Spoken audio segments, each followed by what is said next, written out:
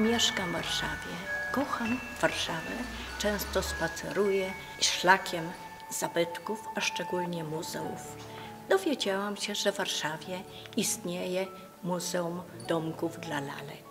Jest to jedyne muzeum w Polsce. Bardzo ciekawa edukacja, szczególnie dla młodzieży, dlatego że to jest tematycznie nadzwyczajne. Domki są wspaniałe, bo tu jest ambulatorium medyczne, domek strażacki na przykład. Jest wszystko, co można sobie wyobrazić. Odbywają się warsztaty, a, a temat piękny budowa domków dla lalek. To było zupełnie nowe doświadczenie, robić coś z innymi, ze starszymi ludźmi. Nie wiedziałam, że można aż tyle zrobić, tyle pięknego. Zobaczyłam w pudełkach gotowe materiały i z tych materiałów trzeba było budować domki. Są farby, są pędzelki, można w ogóle zrobić cały świat. Zaczęliśmy od składania y, mebli, a raczej od ich malowania. Potem składaliśmy je za pomocą kleju Wicol, a następnie malowaliśmy ściany.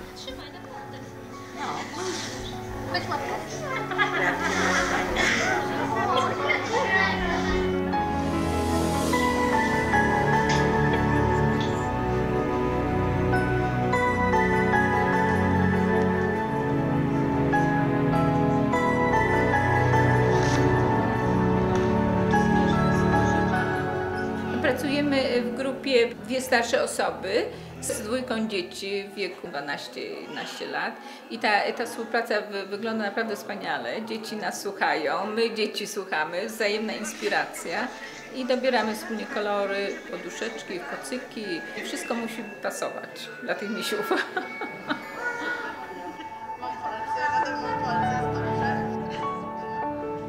Według mnie jest fajnie, ponieważ ciągle jest to robić. Jak coś się schnie, to robi się coś innego. No, jest wesoło i dużo rozmawiamy. Na przykład rozmawiamy o tym, co lubimy robić. Są miłe osoby, z którymi się pracuje.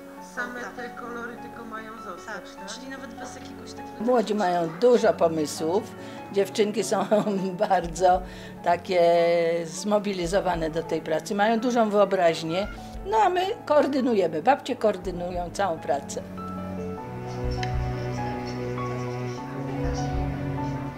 Biorę udział w tym, bo przez całe życie pracowałem z dziećmi. Byłem cuchmistrzem, harcmistrzem.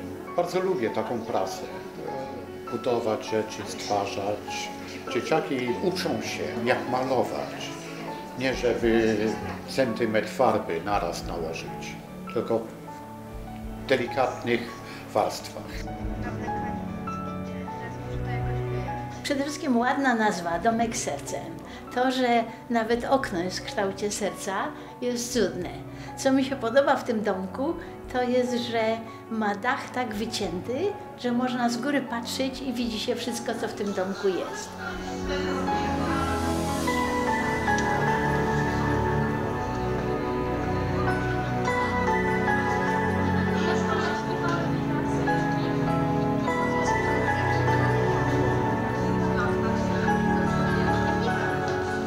Prowadząc te warsztaty, zauważyłam, jak niesamowicie z godziny na godzinę y, zawiązywały się niemalże przyjaźnie właśnie dzieci i ludzi starszych. Chyba wszyscy tu mamy nadzieję, że te dzieci zostały coś zaszczepione z pracy artystycznej, że każde z dzieci będzie chciało robić, że nie tylko telefon, nie tylko gry. Także to było właśnie niesamowite, jak, jak y, kwitła współpraca między tymi osobami. Tak o. Układamy. W Polsce brakuje szalenie zainteresowania seniorami i tak samo za mało jest y, akcentów charytatywnych. A tutaj połączenie, że starsi ludzie będą się czuli potrzebni, że dzieci mają coś zrobić dla innych dzieci, no to po prostu zachwyt. Nie może być lepiej. Seniorzy i coś dla kogoś. Dzieci dla innych dzieci. Jedyne, co mi nie wyszło, to to trochę Ale to okej, wygląda bardzo ładnie. Nazwa akcji jest Domek z sercem. I rzeczywiście widać, że każdy tutaj wnosi kawałek tego swojego serca. E, zaczynając od Anety, która jest inicjatorem tego wszystkiego, zaraziła nas taką pasją do robienia czegoś dla innych. I to jest coś wspaniałego, kiedy się patrzy, jak te dwa pokolenia razem działają. I mm, bardzo się angażują, e, chcą robić nie tylko domki, ale chcą pomagać e, dalej innym. I to jest właśnie dla mnie taka satysfakcja wynoszona z tego największa.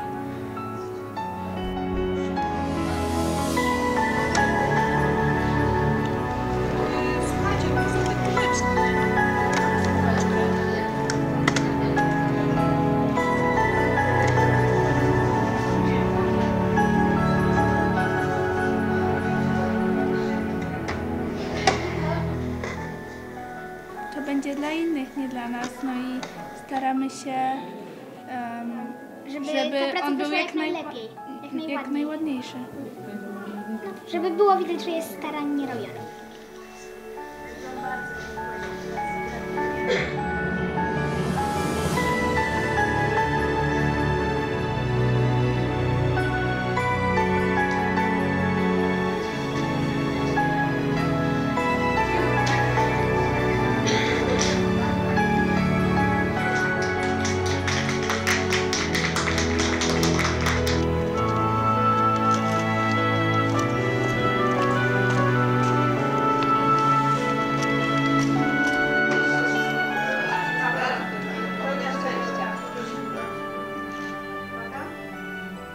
Cel jest bardzo zaszczytny.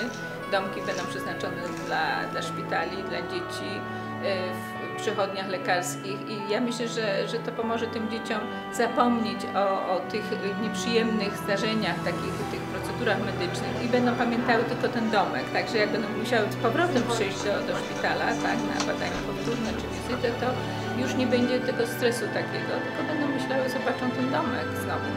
Będą się mogły pobawić.